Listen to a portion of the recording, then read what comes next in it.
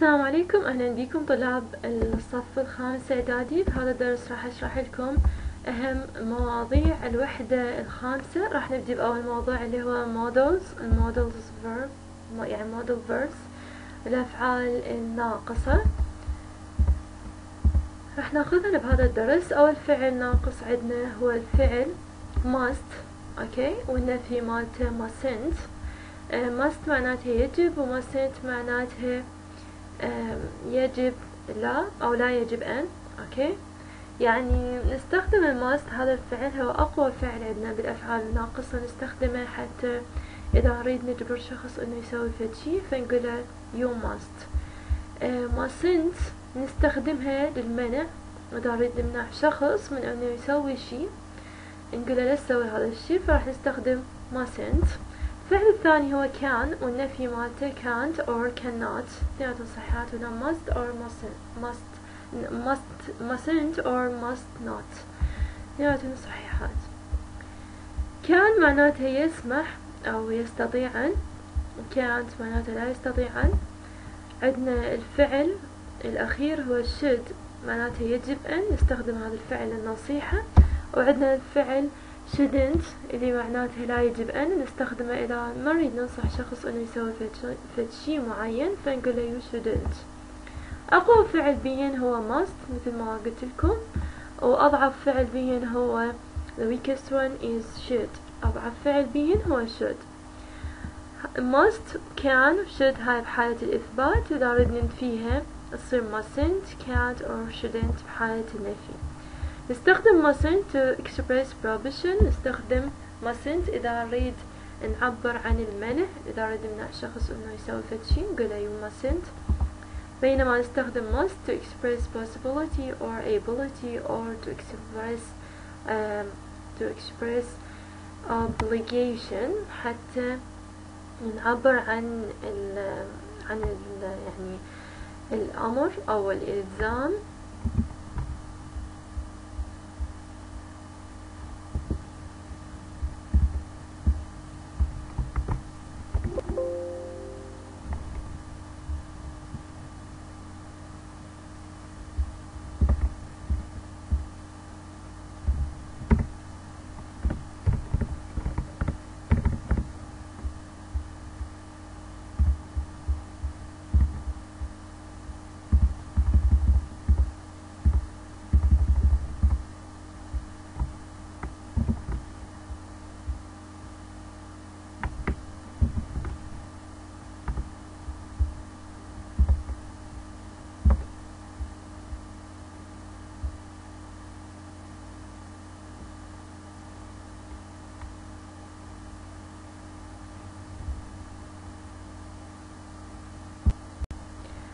نستخدم must حتى نعبر عن الإلزام أو الإجبار يعني نجبر الشخص إنه يسوي فد شي أو يمشي على القاعدة نقول له you must. نستخدم can للpermission للسماح بينما نستخدم can't نريد نقول there is no permission ماكو سماح بالموضوع. يعني هذا الشي ما اسمح لك إنه تسويه نستخدم can't. نستخدم should بحالة الإثبات بحالة النفي for advice أوكي للنصيحة. You should do it or you shouldn't do it. فهنا بالحالتين إحنا ننصح شخص انه يسوي هذا الشيء. قاعدة آه قاعدة هذنين ثلاث أفعال. اللي هنا كان must should سواء بحالة الإثبات أو بحالة النفي هي تكون لازم قبل نخلي فاعل وبعدين لازم نخلي فعل مجرد خالي من أي إضافة. فمثلا نقول we can use the computer lab in school hours. يعني إحنا مسموح لنا معناته أو إحنا نقدر إنه نستخدم كمبيوتر لاب مختبر الحاسوب في الساعات المدرسية. فهنا لما استخدمنا كان معناته إحنا مسموح لنا إنه نسوي هذا الشيء. شنو هو الشيء؟ Use the computer lab in school hours. هنا شفتوا هذا المثال؟ قبل الكان خلينا فاعل اللي هو وي وبعد الكان خلينا فعل مجرد خالي من أي إضافة اللي هو use. ف هذا معناته انه it is allowed for us to use the computer lab in school hours يعني هذا الشيء مسموح لنا انه نسويه إذا ناخذ another example like there must be a teacher in the lab when we use it هنالك must يجب أن be يتواجد a teacher معلم in the lab بالمختبر when we use it لما إحنا نستخدمه هنا بالمثال الأول بالمثال الأول إحنا مسموح لنا إنه نستخدم هذا الكمبيوتر لاب هذا المختبر مختبر الحاسوب. بينما هنا بهذا المثال آه معناته هاي القاعدة يعني لازم أوكي؟ يتواجد لازم يتواجد معلم أو معلمة أو يعني مدرس أو مدرسة بالمختبر لما إحنا نستخدمها هاي قاعدة ثابتة لازم أكون مدرس أو مدرسة. أوكي؟ فهنا هاي معناته it's a rule. هاي هنا it's a rule. يعني هاي قاعدة ثابتة إنه بأي مدرسة بالمختبرات لازم يتواجد أستاذ اللي يقدرون الطلاب يستخدمون المختبر. خلينا ناخذ مثال على should.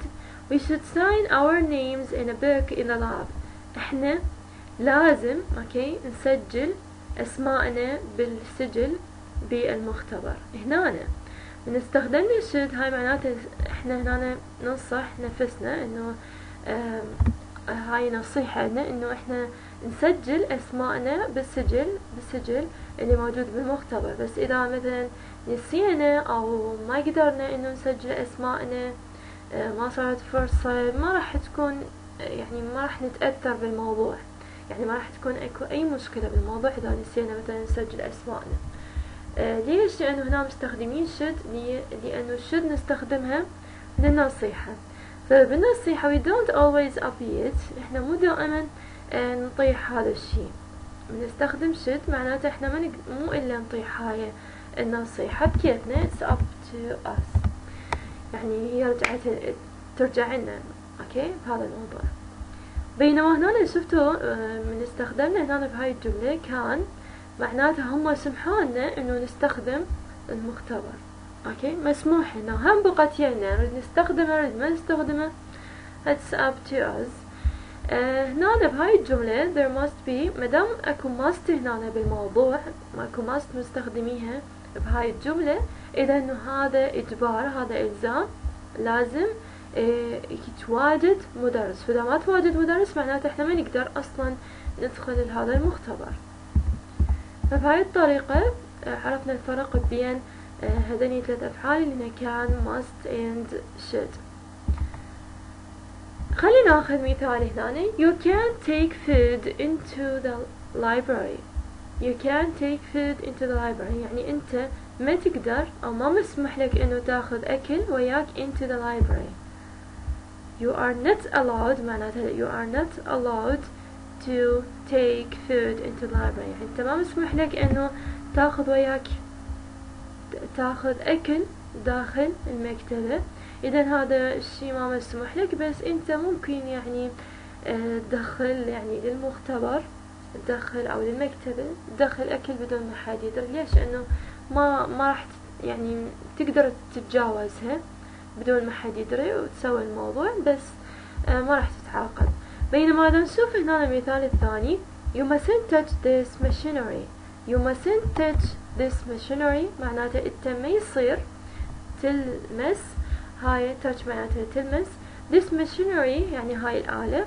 هنا ما دام استخدمنا mustn't فمعناته هذا الشيء آه قاعدة. It's a rule. ما يصير إنه أنت تتجاوزها. أوكي لأنه إذا تجاوزت هاي القاعدة ممكن إنه تتعاقب لأنه استخدمنا mustn't فهنا إجبار. أوكي؟ مو بكيفك الموضوع لازم تسوي هذا الشيء. فلهالسبب استخدمنا mustn't هنا. لو هنا بهاي الجملة مستخدمين can't you can't touch this machinery. تصير you are not allowed بس أنت تقدر تتجاوزها. تتجاوزين آه تتجاوز هاي آه هذا الموضوع أو هاي النقطة. لأن استخدمنا can't هنا بس هنا مدام استخدمنا wasn't إذا ما يصير إنه أنتم تتجاوزون هاي القاعدة لأنه راح تتأذون راح تتعاقبون لأنه هي شنو قاعدة مدام استخدمنا بيها wasn't for prohibition you shouldn't walk on the grass. You shouldn't أنت ما يصير walk تمشي on the grass تمشي على الزرع هنا مدام استخدمنا shouldn't so it is advice. It's a good idea for you to walk to not to walk on the grass. It's a good idea for you not to walk on the grass. يعني هاي الفكرة زينة إلك إنه أنت ما تمشي على الزرع.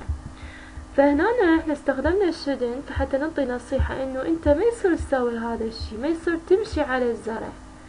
إذا مشيت على هذا الزرع ممكن إنه أنت يعني ما حيصير بيك شي بس يعني من الأفضل إنه أو يعني أنا نصحك أو نصحك إنه ما تمشين على الزرع.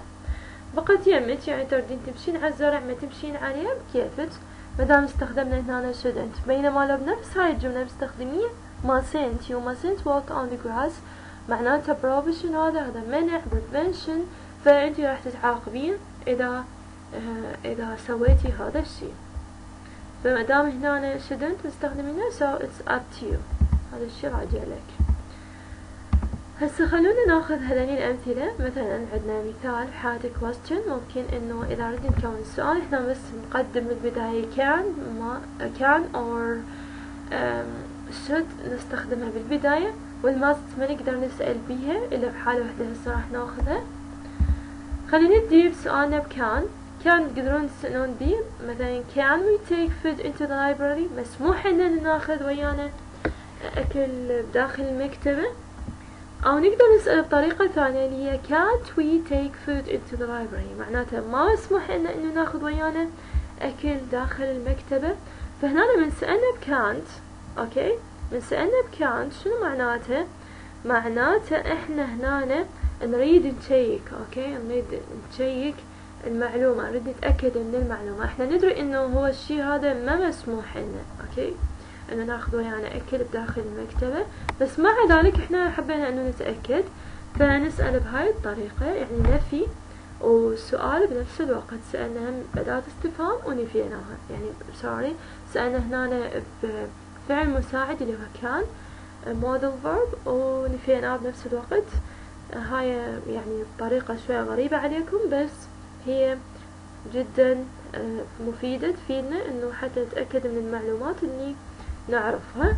نقدر نسأل بدون إنه نختصر مثل هاي الجملة الأولى can't لا نقدر نفصلهن نصير can we not take food into the library يعني إحنا ما نقدر ناخذ ويانا أكل بداخل المكتبة. بس تنتبهون إنه هنا الكان ما تصير can not we.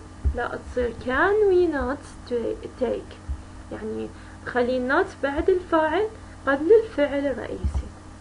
إذا سألنا بشدنت shouldn't we walk on the grass يعني إحنا ما يصير نمشي على الزرع؟ تنصحني إنه أنا ما أمشي على الزرع؟ هنا أنا ردت أسأل عن نصيحة استخدمت shouldn't آه، حتى أتأكد من نصيحة الشخص المقابل إنه ينصحني إنه أنا ما أمشي على الزرع. آه، صحيح هذا الكلام؟ لا لا. فهنا نقدر نسأل نقول should we walk on the grass يعني بدون نفي تصير يعني تنصحني إنه أمشي على الزرع. إذا أني أصلا أدري إنه الشخص المقابل ما ينصحني بهذا الشي فراح أسأله أقول له shouldn't we walk on the grass? ما تنصحنا إنه نمشي على الزرع. أوكي؟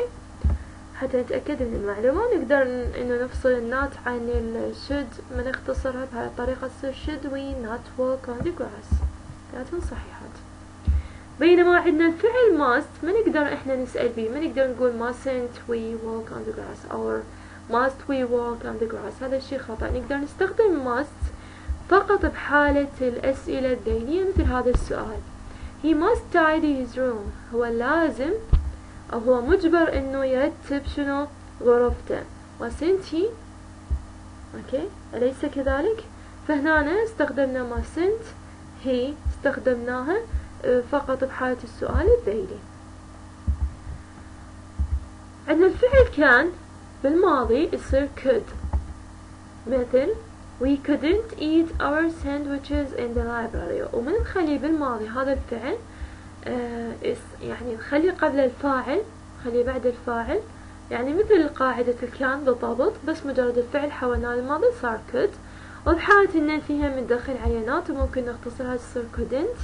وبعده لازم ننزل فعل مجرد خالي من أي إضافة.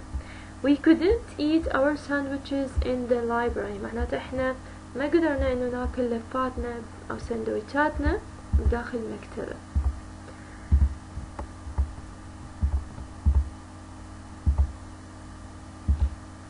الفعل must حتى نحوله للماضي يصير had to. أوكي يصير had to بالماضي. فمثلا he didn't have to tidy his room because his sister had done it. يعني هو هو من غير الضروري أنه يرتب أن يرتب his room غرفته because his sister had done it. لأن أخته سوت هذا الشيء. فهنا هاي الجملة آه، إحنا الهاد يعني must بالماضي حولناها إلى had had to اللي هو فعل الضرورة بالماضي. أوكي زين بالزمن الماضي حتى ننفي الجملة راح ننفيها بما راح ننفيها بالفعل didn't أوكي؟ أو didn't من ننزلها؟ نحتاج فعل الرجعة الأصل اللي يجي بعدها. فالفعل هو عندنا had to had to بالزمن آه الماضي أوكي؟ هو had to بالزمن المضارع إذا نريد نرجع لاصله اصله شنو؟ هو have to يجب أن فبهاي الطريقة يعني قدرنا ننفي الجملة هم بالماضي هم باستخدام must. فإذا must بالزمن الماضي بالزمن الماضي تصير فعل الضرورة اللي هو have to اللي هسه راح ناخذه بهاي الوحدة اللي هي الوحدة الخامسة. مفهوم؟ فإذا كانت عندكم الجملة مثبتة وعندكم الفعل must لازم يعني تنفو لازم تستخدمون بالزمن الماضي. لقيتوا عندكم must وجملتكم بالزمن الماضي فراح تحولون ال must إلمن إلى had to بحالة الإثبات. إذا ردتوا تنفون بالزمن الماضي راح تستخدمون didn't have to أوكي؟ مثلا He mustn't tidy his room because his sister had done it. هنا هاي الجملة. طالب عندكم أن تحولوها للماضي البسيط. هي الجملة he mustn't tidy his room because his sister had done it. فهنا شفتوا؟ هاي الجملة طاكم إياها بالزمن المضارع mustn't جاي بالزمن المضارع ومنفية وطلب من عندي إنه أحولها للماضي البسيط فشلون راح أحولها؟ أحولها بهاي الطريقة قبل شوية حولناها. هاي قدامكم. بس الماسنت تحولوها للزمن الماضي وتبقوها منفية تنفي بمن بالزمن الماضي البسيط تنفي بال didn't والفعل must آه، بالزمن الماضي بالزمن يعني الماضي هو had to أريد أرجع لأصل had to يصير have to ما يصير he, did, he didn't must. أوكي ما يصير بهاي الطريقة. لا لازم يصير he didn't have to tidy his room because his sister had done it. فمثلا بعد آه إذا نريد نقول آه نستخدم يعني هاي الجملة بدون نفي بالزمن الماضي شو يصير؟ He had to tidy his room. يعني بس الفعل must حولناه للماضي صار had to. صار he had to tidy his room. هو كان من الضروري أن شنو؟ يرتب غرفته فإذا must بحالة الماضي تصير had to. بحالة الماضي ومنفية تصير didn't have to. أوكي سجلوا الملاحظة وانتبهوا لها زين لأنه ممكن تجيكم بالامتحان. هسه ننتقل إلى موضوع ثاني. بهاي الوحدة الخامسة وجدا مهم هذا الموضوع اللي هو necessity verb. necessity verb اللي هو فعل الضرورة. عندنا فعل الضرورة هو have to. أوكي؟ هو الفعل have to. آه نستخدمه من نريد نقول it is necessary. يعني هذا الشيء ضروري إنه نسويه. فمثلا نقول I have to get up early tomorrow. يعني أني من الضروري أن أنهض مبكرا غدا. My plane طيارتي leaves at 6 in the morning. طيارتي تغادر عند الساعة السادسة في الصباح. فهنا لأنه طيارتي راح تغادر الساعة الستة فأنا استخدمت هنا شنو؟ حكيت إنه هذا الشي ضروري إنه أسوي. شنو أسوي؟ أقعد من وقت باكر. فشفتوا هنا استخدمنا have to واستخدمنا بعدها I have to get up. فاستخدمنا I بالبداية اللي هي الفاعل واستخدمنا بعدها have to وبعد ال have to خلينا فعل مجرد خالي من أي إضافة اللي هو get up. فنستخدم ال have to to say that something is necessary يعني هذا الشيء هو ضروري necessary معناتها ضروري. هاي هذا الفعل اللي هو آه، have to يدخل على كل الأزمنة لأنه هذا الفعل have to بكل زمن هو يصير بمكان الفعل الرئيسي. يعني شلون؟ يعني إذا ناخذ أول زمن اللي هو المضارع البسيط بالزمن المضارع البسيط بالزمن المضارع البسيط فهذا الفعل بالزمن المضارع راح تكون قاعدته بالزمن المضارع البسيط مثلا فاعل ونخلي وراه هذا الفعل لأنه هو راح يكون بمكان الفعل الرئيسي بموقع الفعل الرئيسي. والفعل الرئيسي بالزمن المضارع البسيط يكون بعد الفاعل فإذا كان الفاعل مفرد نخلي has to وإذا كان الفاعل جمع نخلي have to وإذا كان الفاعل I هم ياخذ have to. وبعده راح ننزل أكيد فعل مجرد خالي من أي إضافة فمثلا نقول I have to leave يعني أني من الضروري أن شنو؟ أغادر بالوقت الحالي. إذا نأخذ another example she has to leave هي من الضروري أن تغادر. شوف انتبهوا هنا ما خلينا have to خلينا has to. إذا يعني بعض الطلاب ممكن يستخدمون have to اثنيناتهم صحيحات تستخدمين has to أو تستخدمون have to. اثنيناتهم صحيحات بالنسبة لهذا الزمن المضارع البسيط باستخدام have to. هم الإنجليز يعني يستخدمون اثنيناتهم. بعد مثلا نأخذ another example like she have to leave يعني هي من الضروري أن تغادر. uh, sorry هنا have to. هنا بهذا المثال يصير مثلا يعني ما يصير آه يعني أوكي نصير نستخدم الشي ال has to ال have to. آه إذا نأخذ another example فمثلا نقول they have to leave يعني هم من الضروري أن يغادروا. فشوفوا هنا they أخذت have to. ليش؟ لأنه هذا الزمن مضارع بسيط. نروح للزمن الثاني اللي هو الماضي البسيط. بالماضي البسيط الموقع الفعل الرئيسي يكون بعد الفاعل ويكون بالماضي. فال have to راح ندخلها هنا. راح تتحول إلى had to بالماضي. وطبعا أي فاعل أي فاعل تستخدمونه هو ياخذ had to وننزل بعد ال had to تكملته. هو تحتاج وياها يجي فعل رئيسي يعني فعل بمعنى. فمثلا نقول I had to leave يعني أني آه، كان من الضروري أن شنو أغادر بالماضي فبهاي الطريقة قدرنا نكون جملة نستخدم بها have to بالزمن الماضي. أوكي؟ بالزمن المضارع المستمر راح يكون موقع الفعل الرئيسي اللي ينضاف له ing فال have to راح نضيف لها ing يصير having to. آه إذا كان الفاعل مفرد ياخذ is نعرف وإذا كان الفاعل جمع ياخذ are وإذا كان الفاعل I يأخذ am فمثلا نقول they are having to leave. يعني هم من الضروري أن يغادروا فتصير they are having to leave. أوكي؟ leave هذا هو الفعل المجرد الخالي من أي إضافة اللي هو تكمل الفعل having to. بعد مثلا نقول I am having to leave. يعني أني من الضروري أن أغادر الآن. معناته لأن استخدمنا بها having to. أوكي؟ I am having to leave. بالزمن الماضي المستمر شلون نقدر إحنا نكون الجملة؟ أكيد هم have to راح نخليها بمكان الفعل الرئيسي اللي هو الفعل اللي ينضاف له ing. الفاعل نخليه ونخلي بعده اما was أو were بهذا الزمن إذا كان الفاعل مفرد ياخذ was وإذا كان الفعل الفاعل إذا كان جمع ياخذ were وإذا كان الفاعل إذا كان الفاعل I ياخذ was أكيد فمثلا نقول I was having to leave. يعني أني كان من الضروري أن شنو أغادر. أو مثلا نقول مها and نرجس were having to leave. مها ونرجس هذول اسمين إذا هما جمع يأخذون were. مها ونرجس كان من الضروري عليهن أن يغادرن. أوكي طيب هذا هو الفعل مجرد الخالي. من أي إضافة اللي بعد having to. بالزمن المضارع التام البسيط حتى نستخدم have to آه نحتاج أن نخلي subject وبعد السبجكت قاعدة هذا الزمن لازم نخلي have or has. إذا كان الفاعل مفرد ياخذ has وإذا كان الفاعل جمع ياخذ have. وإذا كان الفاعل I ياخذ have أيضا. بعدها راح ننزل تصريف ثالث للفعل الرئيسي وهنا إحنا قلنا بالبداية إنه ال have to هي راح تكون هي بمكان الفعل الرئيسي.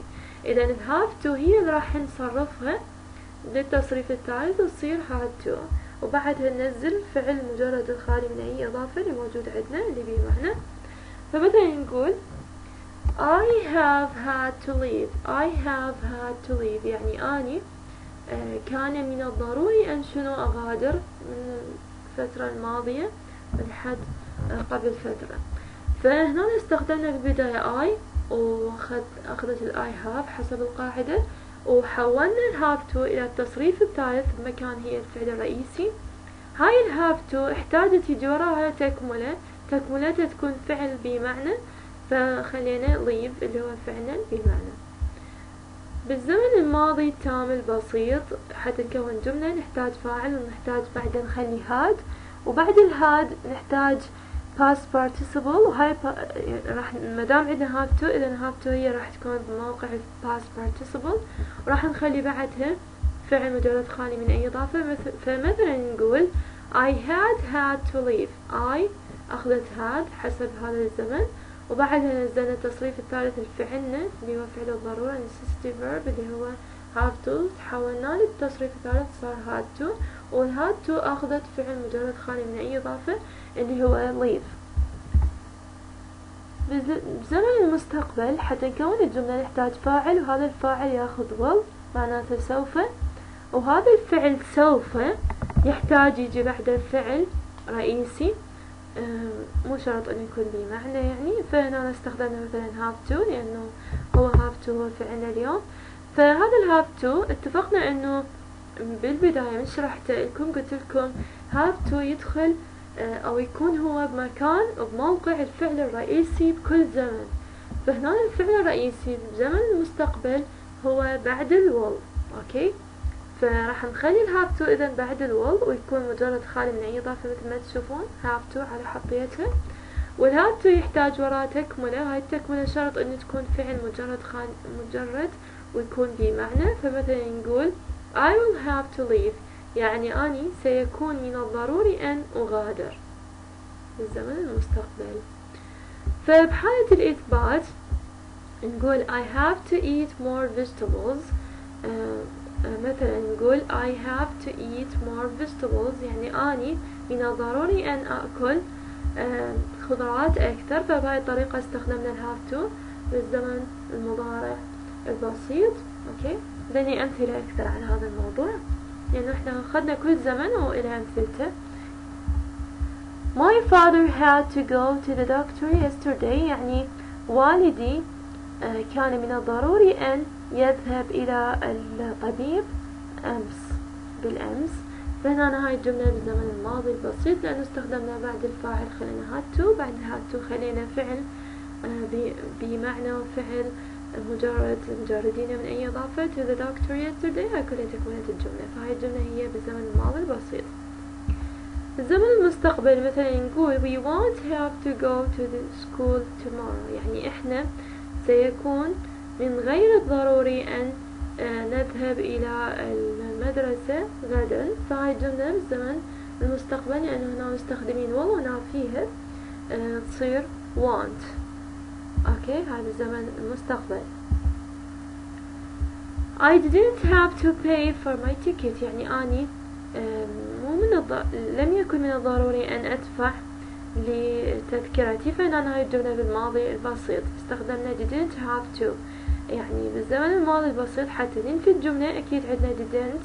didn't نخليها نخلي بعدها الفعل مجرد خالي من أي إضافة اللي هو have to.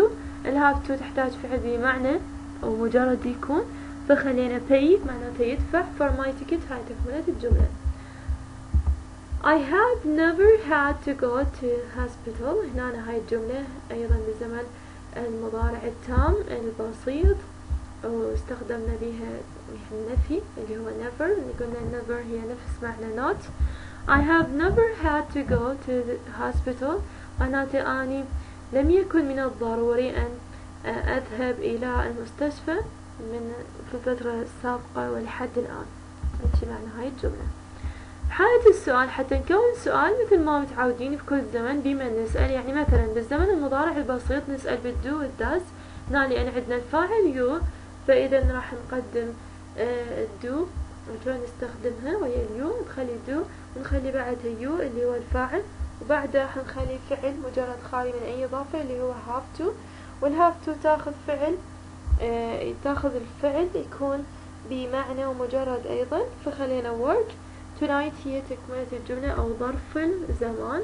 فصار do you have to go to work tonight.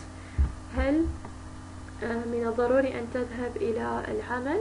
أو هل من الضروري أن تعمل الليلة؟ فهاي الجملة بالزمن المضارع البسيط سألنا بها.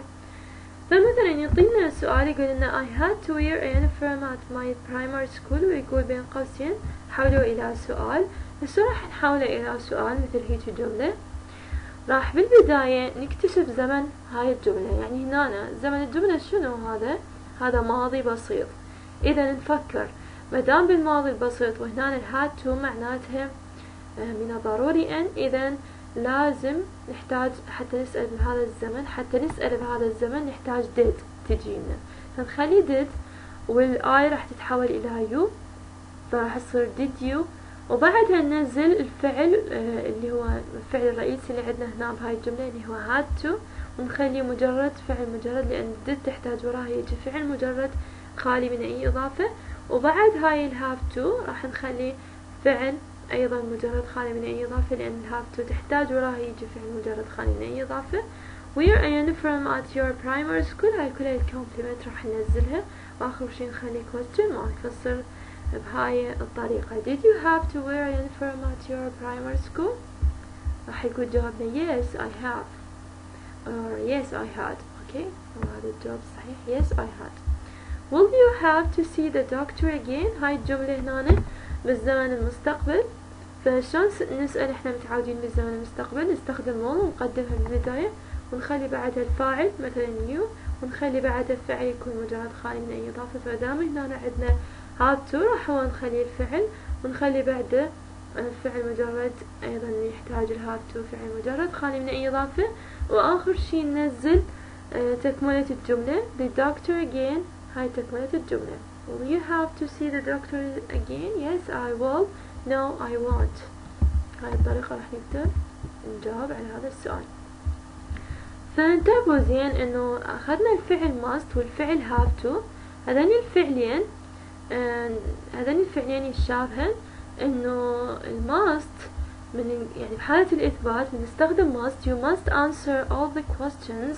هاي معناتها أنت ملزم إنه تجاوب على كل الأسئلة okay؟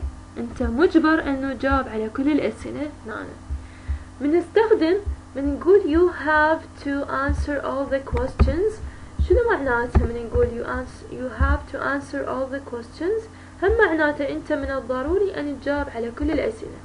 فإذا ال must وال have to بحالة الإثبات يتشابهن من إحنا نستخدم ال must إلمن القاعدة اللي ما يصير نتجاوزها ونستخدم ال have to للضرورة.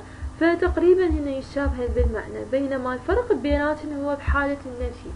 يعني من نقول you mustn't ومن نقول you don't have to. شنو الفرق بيناتهم بحالة النفي؟ الفرق إنه مثلا إذا نأخذ هاي الجملة you mustn't leave معناته أنت ما يصير تغادرين أو أنت ما يصير تغادر. هنا بنستخدم mustn't معناته أنت ما يصير إنه تغادر. أو إذا غادرت انت ممكن إنه تتعاقب لأنه راح تتجاوز قاعدة. فهنا أني أمنع المقابل إنه يسوي هذا الشيء اللي هو المغادرة. بينما بنستخدم don't have to leave هنا أنا يعني جاي أقول للشخص إنه أنت مو ضروري إنه تغادر okay؟ فبقت يمنا هو يريد يغادر هو ما يريد يغادر. هذا الشيء it's up to him or it's up to you. حسب إذا جاي أخاطبك أو أخاطبك فهنا ال mustn't ال mustn't نستخدمها إذا بدي يقول it's not allowed يعني هذا الشيء ما مسموح هذا الشيء it's uh, prevented you are prevented uh, from leaving or of leaving. إذا نستخدم you don't have to معناتها هنا it's up to you. فبقت بقى الموضوع يمك تريد تغادر أو ما تريد تغادر. بينما المسنت من أقولها هنا بهاي الجملة معناتها أنت مجبر إنه آه ما تغادر. أوكي؟ أنت مجبر إنه شنو ما تغادر. أو أني أمنعك كميا من المغادرة. فهذا هو الفرق بين must وال have to.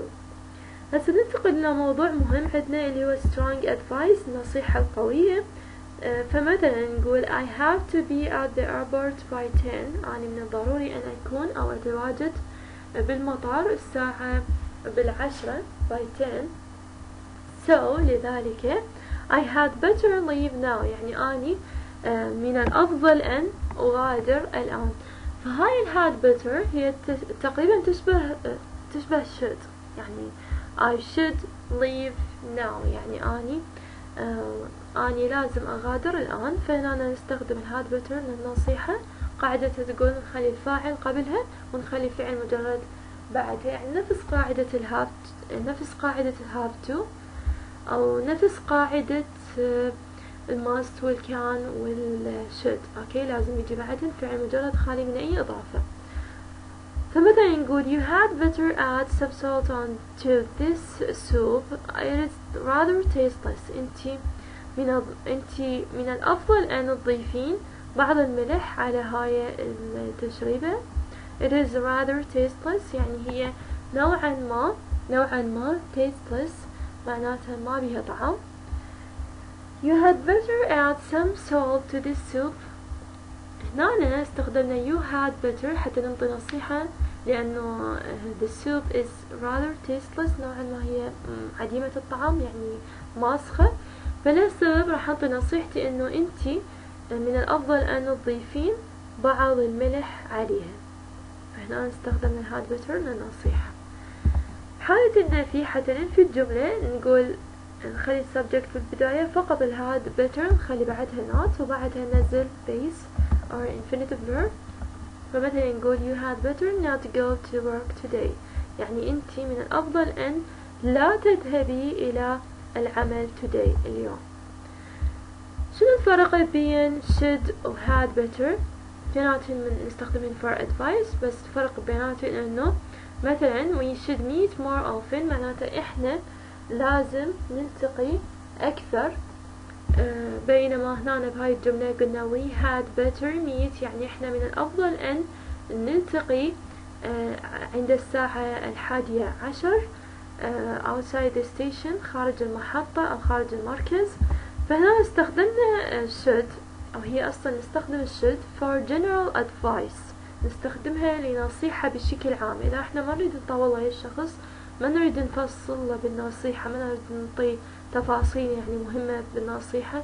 يعني مجرد إجا شخص طلب نصيحتي فراح أنطي نصيحة بشكل عام. يعني أقول له سوي هذا الشيء أو لا تسوي هذا الشيء. أستخدم إذا شنو؟ should بينما إذا الشخص كان مقرب من يسألني يعني يطلب النصيحة فأكيد راح أذكر له تفاصيل هواية بالنصيحة. فإذا لازم نستخدم هاد better. فمثلا نقول آه إذا مثل هاي الجملة مثل ما استوني قرأت لكم هاي الجملة فنعطي تفاصيل أكثر. يعني إحنا لازم أو إحنا من الأفضل أن نلتقي يعني الساعة بهداعش خارج المركز. بعد ممكن نعطي تفاصيل أكثر. فأكيد إذا الشخص كان مقرب وطلب من عندنا النصيحة فراح نستخدم هاد better. حتى نعطيه تفاصيل هواية. آه فإذا هو هذا الفرق بين الشد والهاد better إذا بيها تفاصيل هواية فإذا تستخدمين هاد better إذا عندك يعني تردين تذكرين نصيحة بشكل عام آه فتستخدمون should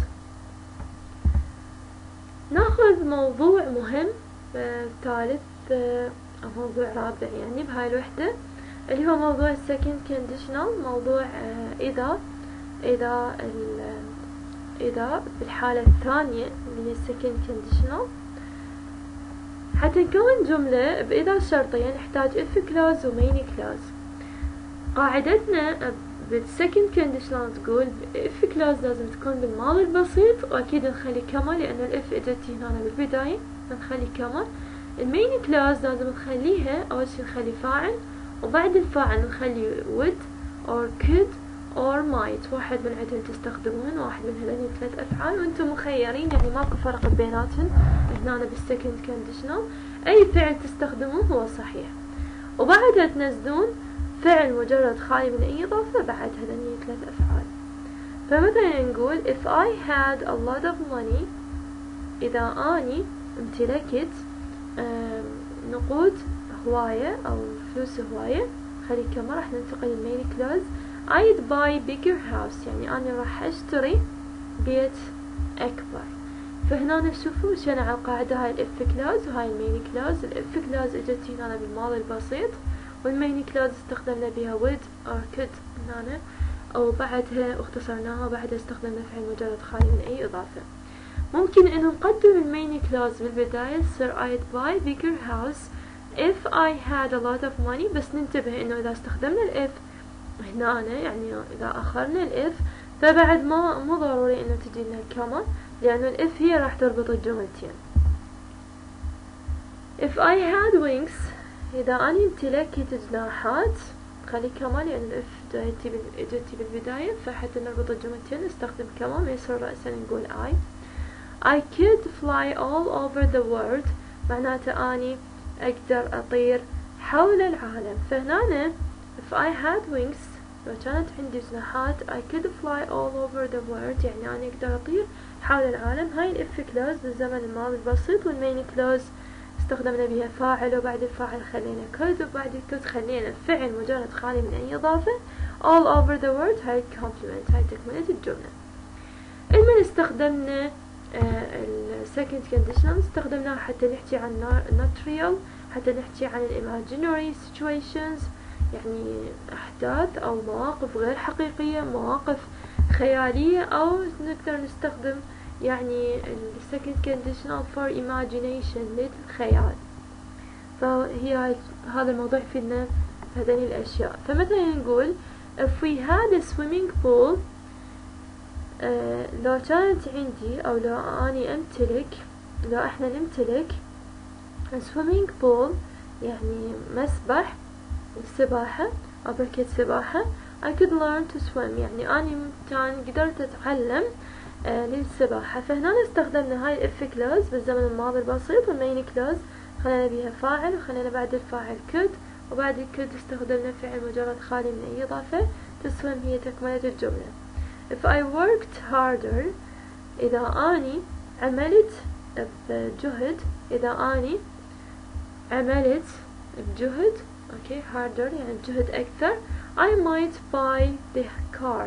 يعني أني ربما أشتري السيارة.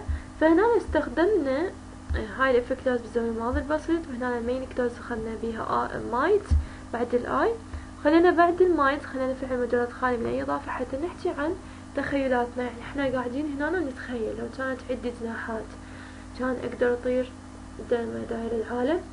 لو أني عندي لو أنا اشتغلت بجهد أكثر كان اشتريت السيارة اللي أريدها فأنا كلها يعني قاعدين إحنا بالوقت الحالي ونتخيل. عندنا الموضوع الأخير اللي موجود بهاي الوحدة اللي هو موضوع الويشز الأمنيات نستخدم الأمنيات نستخدمهن. بهذا الدرس اللي هو درس الأمنيات راح نتعلم شلون نتمنى أمنيات بالوقت الحالي؟ يعني إحنا قاعدين هسه بهذا الوقت ونتمنى أشياء لو تصير بهذا الوقت الحالي. وشلون نتمنى أشياء لو صارت بالماضي؟ أوكي؟ لو يعني صار هذا الشي بالماضي. ونتمنى لو شي يصير بالمستقبل. كل هذين الأشياء هذين الأمنيات ثلاث أنواع من الأمنيات راح نتعلمها بهذا الدرس. فنبدي بال فنبدي بأول حالة هي بالوقت الحالي إذا أريد أتمنى أمنية بالوقت الحالي شلون أقدر أكون الجملة؟ حتى أكون الجملة أخلي I وبعدها wish okay؟ يعني أني أتمنى معناته لأنه wish هذا الفعل معناه يتمنى. I wish معناته أني أتمنى.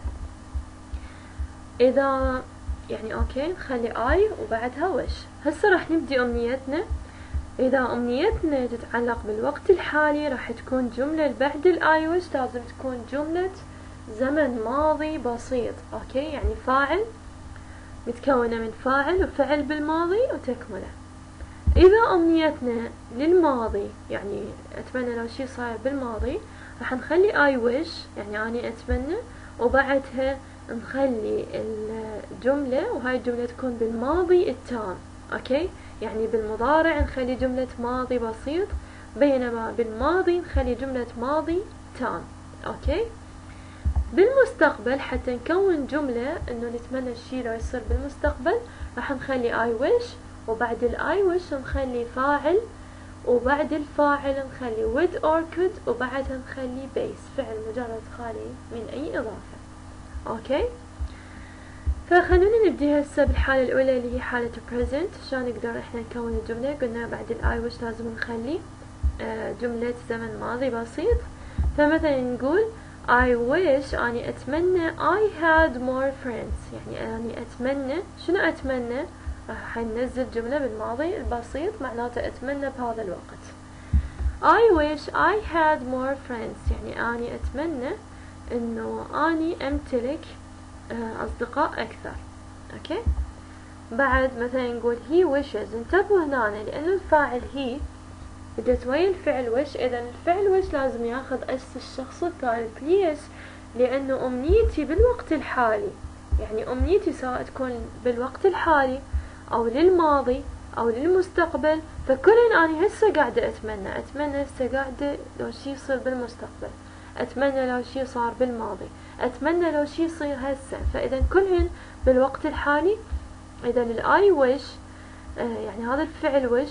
إذا الفاعل مالته كان مفرد لازم ياخذ أس الشخص الثالث هو. إذا الفاعل جمع أو آي لازم ياخذ شنو؟ لازم ما نضيف له أي إضافة يكون مجرد خالي من أي إضافة. مثلا هنا I wish ما قلنا I wishes خطأ. He wishes هسه ننزل بعدها جملة تكون بالماضي البسيط. مثلا he know more people. هو آه تعرف على ناس أكثر. فهنا هاي الجملة بمن بالماضي البسيط. He wishes هو يتمنى حاليا لهو يعرف ناس أكثر. بعد مثلا نقول I wish أني أتمنى I could لو أقدر speak أحكي أو أتكلم lots of languages. لغات أكثر. أو لغات عديدة لغات عديدة. okay؟ فهاي أمنيتي شو وقت الوقت الحالي. ليش أنا استخدمت بيها أفعال بالزمن الماضي؟ وجملتنا بالزمن الماضي البسيط okay؟ يعني هنا هذا ال could هو ماضي can صح؟ وال can هنا داخلة على الزمن الماضي البسيط ماكو أي مشكلة بالموضوع يعني. okay؟ هاي الجملة تبقى هي جملة شنو؟ ماضي بسيط حتى لو استخدمنا بها modal verb. فانتبهوا زين حتى لو لقيتوا بالجملة يعني جملتكم مال الماضي البسيط حتى هاتوا ممكن تستخدموها. هي ماكو أي مشكلة. هي تبقى زمن شنو؟ ماضي بسيط. هسه بالماضي إذا أريد أتمنى لو شي صاير بالماضي شنو أقول؟ لازم أستخدم جملة ماضي تام. فمثلا نقول I wish I hadn't been so selfish. أني أتمنى شنو أتمنى؟ I hadn't been so selfish. أني ما كنت أنانية كلش.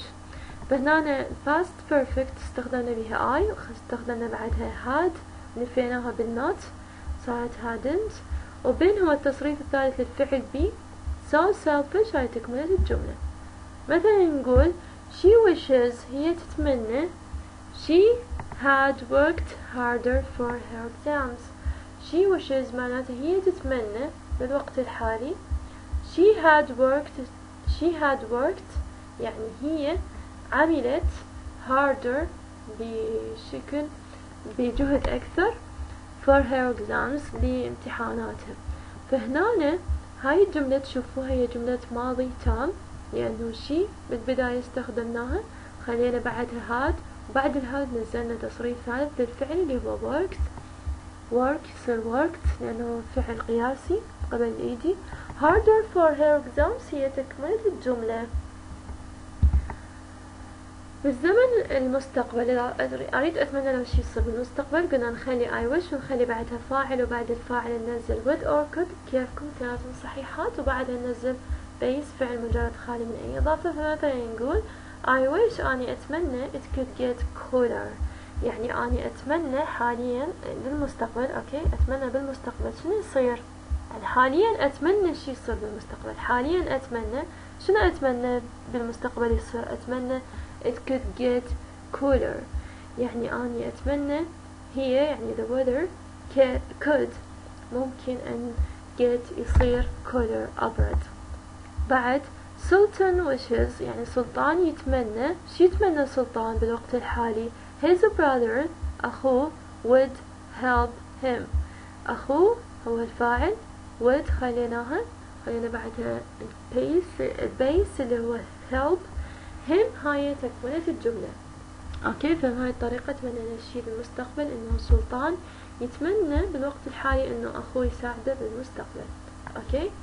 وقد عندنا ملاحظة هنا جدا مهمة إنه إحنا بنتمنى أشياء بالماضي اذا هذا نسميه regret بعض الأحيان.